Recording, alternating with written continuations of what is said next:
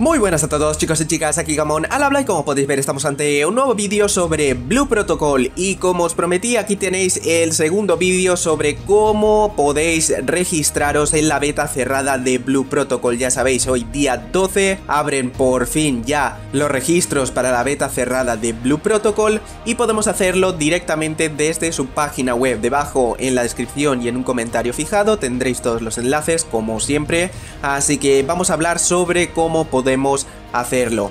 Tengo la página web traducida al español, no está en español, está en japonés, pero bueno, mm, podéis traducirla y ya veréis que no tenéis ningún tipo de pérdida porque se entiende bastante bien.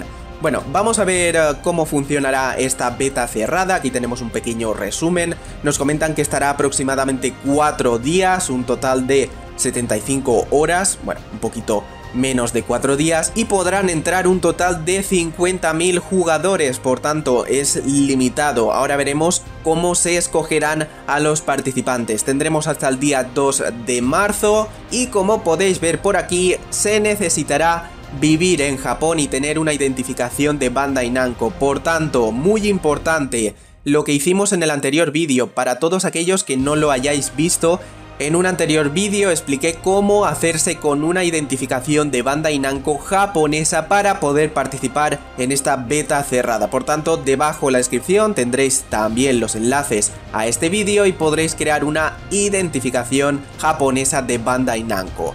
Bueno, sabéis que el juego es para PC, esto ya os lo vengo avisando, es para PC, aquí nos comentan que eh, podremos distribuir imágenes, podré crear yo contenido si me toca esta beta cerrada. Y aquí nos comentan la forma de escoger a los participantes. Si el número de solicitudes supera el número de participantes que pueden entrar, se hará por sorteo, si no, pues entrarán absolutamente todos. Y bueno, más cosas, nos dicen que si ganamos una participación para esta beta cerrada, también podremos invitar a un compañero, a un amigo, así que podéis jugar con más gente a la que no le haya tocado esta beta cerrada.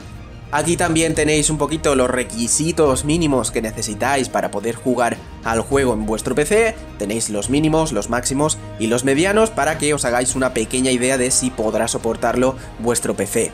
Y aquí aceptaremos los términos y podremos iniciar directamente ya esta solicitud para la beta cerrada. Nos cargará esta página web en la cual tendremos que meter nuestro correo electrónico y la contraseña de nuestra cuenta de Bandai Namco ID. Os recuerdo debajo en la descripción el vídeo sobre cómo crear esta Bandai Namco ID japonesa, muy importante.